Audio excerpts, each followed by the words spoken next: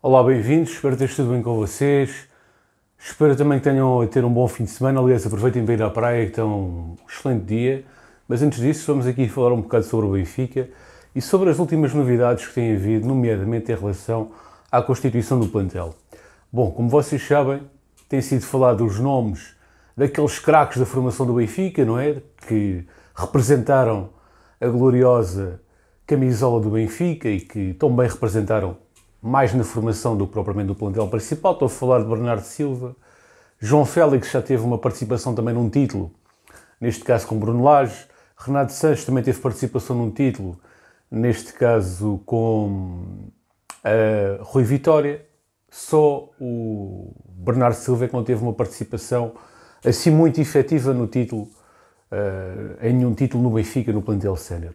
Mas, portanto, estes três jogadores têm sido também falados como possibilidades para o Benfica, mas já lá vou. Vamos começar aqui por as opções que são realistas, que é neste caso para defesa esquerda, tem sido falado o Kerkez e o Lodi.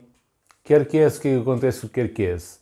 O Azel Kumar está intangível nos 20 milhões de euros. Para além disso, ele tem clubes interessados um, no Reino Unido, portanto, da, Premier League, o que faz com que não haja assim uma, uma vontade de fechar negócio rapidamente. Portanto, eles têm tempo até o final do mercado para encontrar uma solução ao nível de Premier League para o Kerkes, que é aparentemente isso que ele quer, e portanto o Kerkes parece que é uma carta difícil neste momento de, de se concretizar. O Lodi, idem aspas aspas, também estão a pedir muito dinheiro pelo Lodi em termos financeiros, aparentemente, segundo o jornal Record, estas duas negociações vão falhar e é que vai acontecer, não sou eu que estou a dizer, é a imprensa desportiva. Neste caso, é uma notícia do jornal Record, é o Jurassic. Tem assim um nome um bocado estranho, não é? Parece, faz lembrar Jurassic Park, ou... mas não é Jurassic mesmo o nome do homem, que é um, eu não o conheço, desconheço em absoluto, tem 22 anos, é um defesa esquerdo de 22 anos, do Slavia de Praga, portanto é um clube que já fez negócios com o Benfica, nomeadamente o Alexander Bá veio por 8 milhões de euros do Slavia de Praga e portanto nós temos um histórico de boas contratações com o Slavia. Neste sentido, pode ser um bom indício, não é? Contratamos o defesa direito deles o ano passado, este ano contratamos o defesa esquerdo. Uh, ele tem contrato até 2026 com o Slavia de Praga, portanto tem um contrato ainda com uma, uma duração razoável. Eh, é um defesa esquerdo conhecido por ser muito bom nas assistências, portanto, ele em 41 jogos fez 11 assistências, o que é um de assinalar, um, um número de assinalar, e tem dois golos. É um dos jogadores preferidos dos adeptos. Eles este ano, este ano fizeram uma grande campanha, ficaram em segundo lugar, com, os mesmos, com o mesmo, mesmo número de pontos do líder, que foi o Sparta, portanto tiveram azar por uma questão de, de confronto direto, salvo erro, é que, é que perderam este, este campeonato, porque conseguiram exatamente os mesmos pontos que o seu rival, quer dizer foi mesmo por uma unha negra. O Slavia de Praga aparentemente está a pedir 15 milhões, eles dizem que já recusaram propostas na ordem dos 6 milhões e o Benfica está a tentar encontrar aqui um, valor intermédio que poderá andar situado nos 10 milhões de euros. É um jogador jovem, com uma boa capacidade ofensiva, alto e, portanto, pode, ser, pode ser uma boa solução este Jurasek. Gostaria de ouvir a vossa opinião. Eventualmente, se algum de vocês conhecer este jogador, pois que, que imita a vossa, que emitam a vossa opinião aí nos comentários, não é? Porque o Kerkez era a primeira opção. Está difícil, pelos motivos que eu já disse. Tem muitos clubes interessados e, tem, e o Asia Alkmaar está a pedir muito dinheiro. E o Lodi, para além de ter um salário alto, também o Atlético Madrid uh, não está a ser nada meigo no valor que está a pedir. Em relação também aqui à questão do Castellanos, há aqui notícias contraditórias. O jornal A Bola diz uma coisa, o jornal Record diz outra. E, portanto, onde é que está a verdade? Não sei. Portanto, segundo o Record, o Brás, o Rui Pedro Brás, viajou para Barcelona para negociar a questão do Castelhanos. Segundo a bola, o Castelhanos só virá caso uh, o Gonçalo Ramos seja vendido. Onde é que eu acho que está a verdade? Acho que a verdade está nos dois lados. Ou seja, o Rui Pedro Brás pode ter viajado com o intuito de negociar o Castelhanos, mas numa ótica de uma opção de compra ou de um contrato de promessa, no caso de venderem Gonçalo Ramos, vem este jogador. Eu acredito que seja por aí. Portanto, ninguém aqui está a passar uma mensagem errada. Estou a interpretar de maneira diferente a viagem de Rui Pedro Brás, que eu acho que a viagem é nesse sentido. Ok, vamos aqui negociar um pré-acordo no caso vendermos o Gonçalo Ramos, vamos buscar este jogador.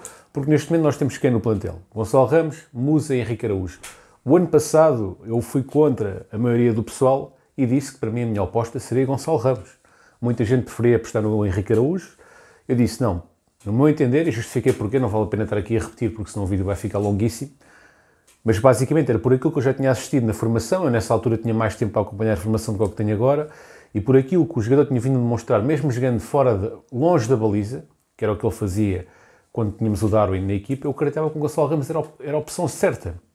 E que o Henrique Araújo era uma opção para crescer. No caso, o Gonçalo Ramos afirmou-se como o goleador, uh, segundo melhor marcador do campeonato, com 18 golos, com 0 golos de penalti, portanto o homem uh, fez os 18 golos sem um único penalti, e isso tem muito mérito, e afirmou-se como o melhor marcador do Benfica, e marcou golos inclusivamente decisivos, é verdade teve uma quebra de rendimento, mas para mim Gonçalo Ramos eu sempre considerei um jogador com talento, um jogador esforçado, inclusivamente no Mundial do Qatar, roubou lugar ao Cristiano Ronaldo e marcou golos. Portanto, é um jogador que apesar de ter passado uma fase negativa, fez uma grande época. E portanto, eu acho que os 80 milhões que o Benfica está a pedir justificam-se, se disserem assim, é pá, não, o Benfica só deve vender pela cláusula porque há uns tempos atrás o Benfica disse que só vendia pela cláusula.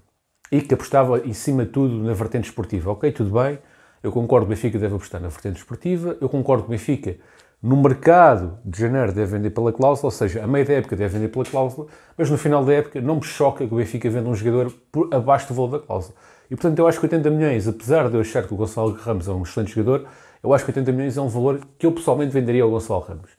Não sei quanto a vocês, estão, estão direitos, têm o vosso direito de ter a vossa opinião, portanto, eu não estou aqui a desvalorizar o Gonçalo Ramos, até porque eu defendi muito o Gonçalo Ramos, mas acho que 80 milhões é um negócio bastante justo e com esse dinheiro podemos contratar um jogador também de muito boa valia por um custo menor e seria essa a minha opção.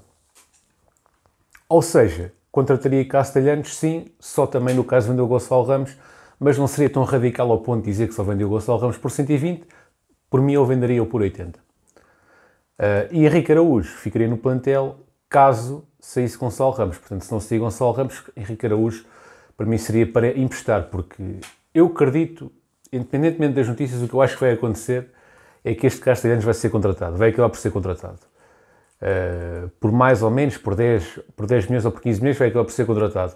E depois o negócio, uh, Gonçalo Ramos pode-se fazer como se pode não fazer, porque o, o Manchester United supostamente estava interessado em contratar. O Bayern Munique também já demonstrou interesse, mas propostas concretas aparentemente não acontecem. E por vezes, se houver aqui uma hesitação no mercado, pode depois, mais tarde, haver a possibilidade de vender o Gonçalo Ramos por um valor agora e não se vende, porque não se contratou. Portanto, é assim um, um bocado complicado de decidir, mas eu contrataria este jogador mesmo sem, um, sem ter vendido o Gonçalo Ramos.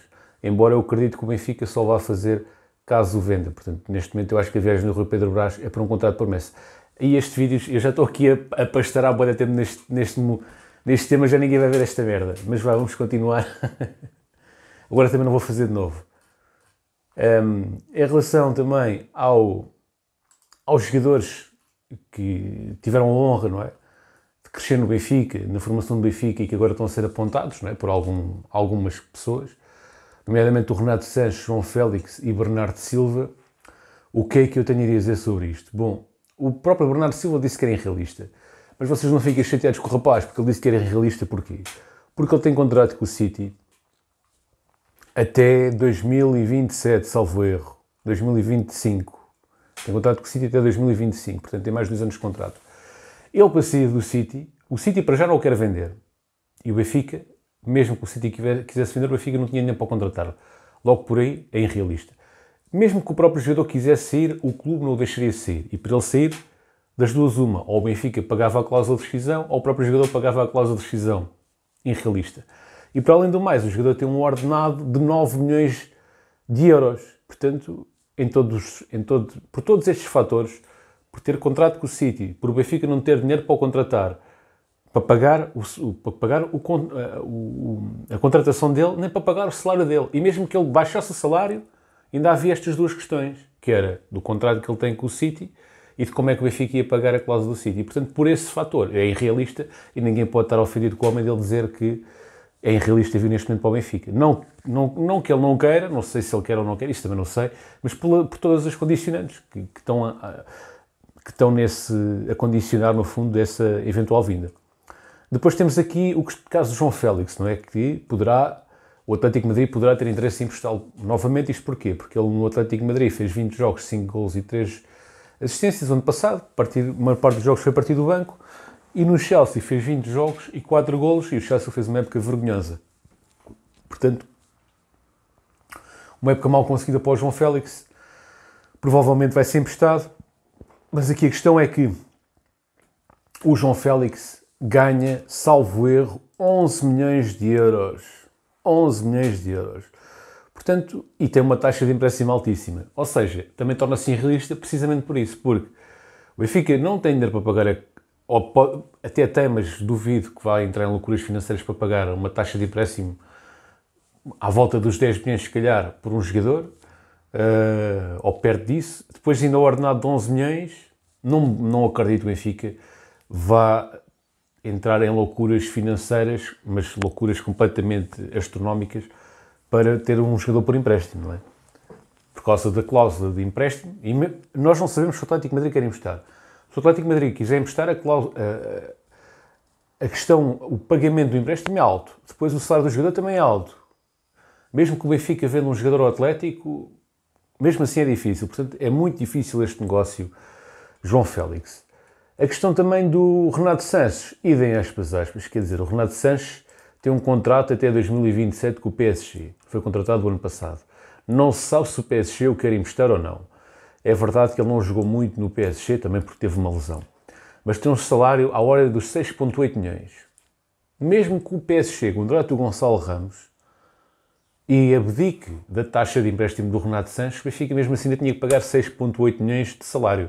Eu não sei se estes 6,8 milhões de salário são brutos ou se são líquidos o que é uma grande diferença. Portanto, se forem, eh, se forem líquidos, significa de 6,8 com, com o imposto ia parar a 12, a 12, não, a 13 ou 14 milhões que o Benfica tinha que, tinha que despender em salário. Portanto, depende. Eu não sei se estes valores que vêm nos jornais do salário deles, se, é o, se os 6,8 milhões são brutos ou são limpos. E isso faz uma grande diferença tendo em conta a carga, a carga fiscal em Portugal.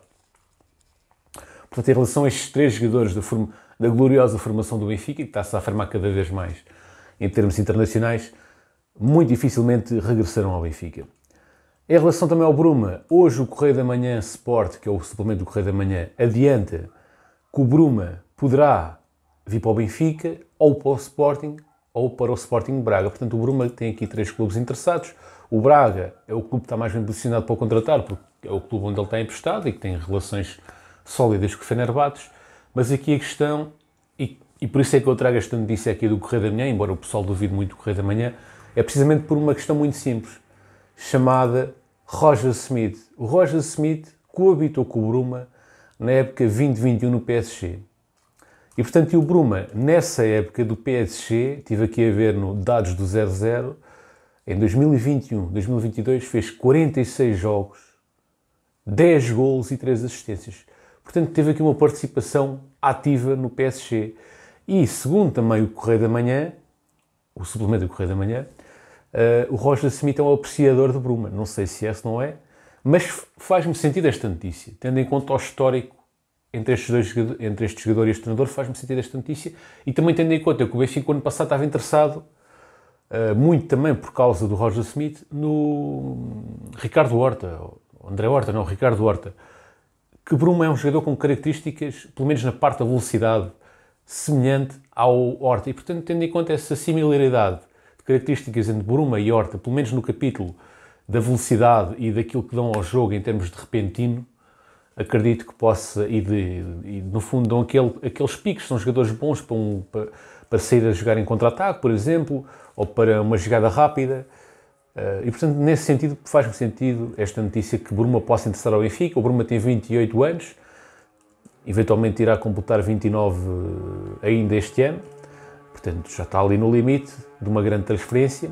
Tem nove jogos pela seleção A, um golo, uh, é um jogador levezinho, com 58 kg, joga com o pé direito, joga como extremo esquerdo, ou avançado, ou então extremo direito, portanto é um jogador ali para a frente de ataque e poderá ser uma alternativa caso o Guedes não permaneça no Benfica. Em relação ao Guedes também, não vale a pena perguntar-me porque eu não faço ideia como é que está a situação de Guedes. Sei que está com problemas físicos, não sei se o Benfica vai avançar ou não.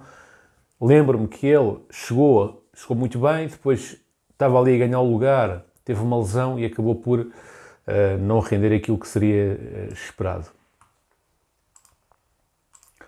Em relação também aqui à questão do Angel Di Maria. Bom, o Angel Di Maria é um jogador que passou pelo Benfica, 3 anos do Benfica, campeão nacional 9-10, com 10 gols e 17 assistências, fez parte de um Benfica demolidor, do Benfica do rolo compressor, não é? Na altura liderado pelo JJ, ah, e que fez ali uma asa esquerda com o João Félix, com o João Félix, foda-se, com o Fábio Coentrão, muito, muito interessante.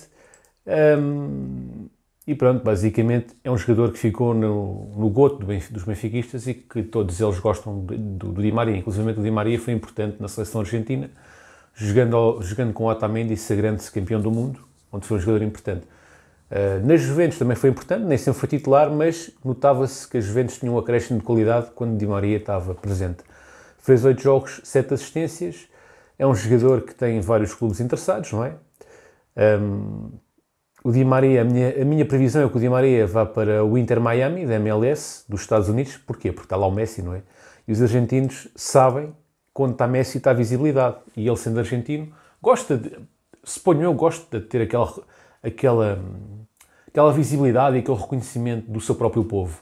E então, ele juntando-se a Messi, será, no fundo, conseguir esse reconhecimento do seu próprio povo argentino e de, e de ser visto no seu próprio país. Porque quando está Messi está as televisões argentinas a filmar os jogos, há visibilidade e, portanto, eu acredito que a opção dele poderá ser por aí, ir para o Inter Miami.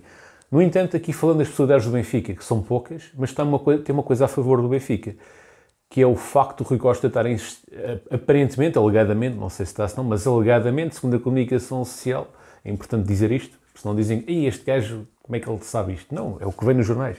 Aparentemente o Rui Costa insistiu com o jogador e falou com o jogador para vir para o Benfica. Uh, isso pode sensibilizar o jogador, não é? E também o facto dos benfiquistas estarem a pedir a ele nas redes sociais para ele vir para o Benfica. Isso também conta. Também é um fator que conta. Portanto, os adeptos benfiquistas invadirem as redes sociais do jogador a pedir o seu regresso é algo que pode mexer com o jogador.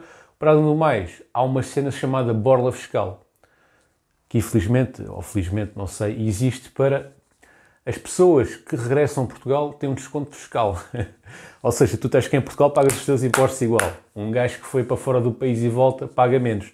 E, portanto, este jogador pode usufruir desse, dessa borla fiscal que nós, portugueses, lhe estamos a dar para poder receber o seu salário por um salário maior. Ou seja, imaginemos que, ele tem um salário bruto uh, de 5 milhões. Que tem um salário líquido, aliás, de 5 milhões. O Benfica, numa, numa, numa situação normal, teria que sair do cofre do Benfica 10 milhões, porque metade era para impostos. Tendo em conta esta borla fiscal, que eu não vos sei explicar muito bem, mas se alguém souber, que explique nos comentários, que as pessoas que regressam a Portugal têm, ou seja, o Di Maria, como já teve Portugal, iria regressar a Portugal, em vez do Benfica pagar eventualmente 10 milhões ele receber 5, iria pagar eventualmente 7 para ele receber 5. Portanto, este, digamos, benefício fiscal para os retornados a Portugal ou para os imigrantes que vêm para Portugal, poderá beneficiar o Benfica neste caso. Portanto, esta borla fiscal pode ser um fator a favor do Benfica para conseguir pagar um salário alto ao Di Maria, tendo em conta que vai pagar menos impostos. Basicamente é isto, pessoal. Obrigado por terem assistido ao vídeo. Se gostarem, deixem gosto. Até uma próxima e viva o Benfica!